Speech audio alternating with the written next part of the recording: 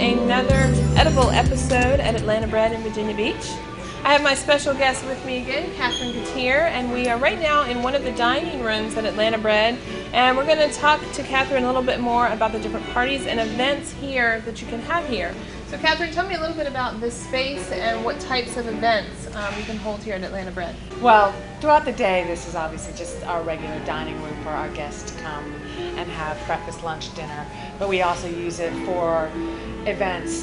If you know somebody wants to do a fundraiser or do the networking event like we did in August or the one that's coming up in November, and we usually will put up some kind of sign for our guests to know that this side is closed off, and it really even though it's an open space, it really seems like a private space. It's not too loud over here with everything going on over there. The guests that are coming in and eating over there don't seem to be bothered. It's really worked out. It's worked out really well.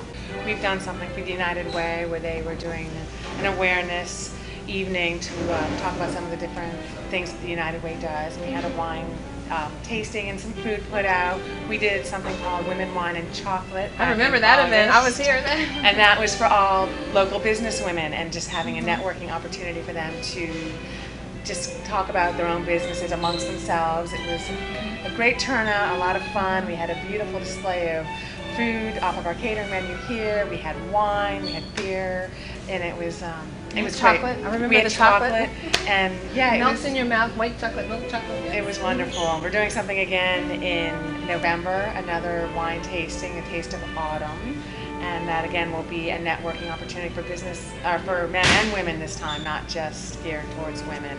And I'm doing something on Friday evening for a friend of mine who is doing I think it's a fundraiser as well. So we'll just shut down this side of the restaurant. And it's kind of like being in your dining room. We can turn on the mm-hmm. fireplace, we get nice flowers out, mm-hmm. and we still can use that other side and keep business going. Okay. So it works out really well.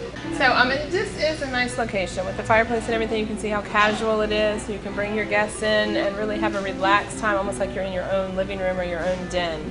Um, now tell us a little bit about the food for this and the setup for um, if someone can customize the menu for an event like that if they want. For the Taste of Autumn, or actually mm-hmm. for anyone. Well, really we just work off the menu that we have for Atlanta Bread, but we can do okay. a beautiful vegetable presentation and the little sandwiches. We can do wraps if somebody wants to do wraps. We have the soups and the pastas. Um, so I just basically kind of do it. I had a birthday party here mm-hmm. a couple weeks ago where she wanted to do pizza. So I had all the salads and the sandwiches out ahead of time, and we just brought the pizzas out as our guests walked in and had those hot. We basically put all the food around the table, let people mingle, and they have all this area to just sit and chat.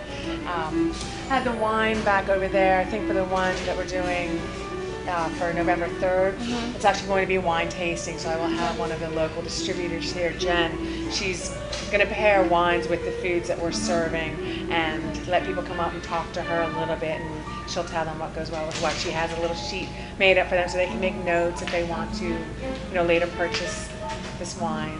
You are speaking the tipsy culinary queen's language with the wine and food tasting. That's what we it's do on the blog. Is, too. Um, yeah, it's something that's really good because people are very intimidated about what to pair with sure. what. You know, what wine goes with what. When they go into a wine store, they have no idea what you know the reds, the whites. There's so much to choose from. So to have someone on location that's actually going to tell you, you know, this dish to go with this, that really makes a big difference. Well, and Jen is great because she really keeps it uh, reasonable. She doesn't mm-hmm. go for overpriced wines or you know, mm-hmm. it's eight dollars a bottle for some of these wines and unusual wines. And this time we're doing. I think we're doing five or six different wines mm-hmm. from different parts of the world. Mm-hmm. One from South Africa. We have Australia. I think we maybe have Chile in there, California, French. Uh, we thought it'd be kind of fun just to do a tour of the world of these different wines. Well, I'm ready so. for happy hour. I don't know if it's happy hour somewhere in the it's world. It's always happy hour somewhere. okay, well there you have it, folks. Atlanta Bread is a great place to have your events, your parties, your wine tastings, your food, your chocolate, whatever it is that you desire.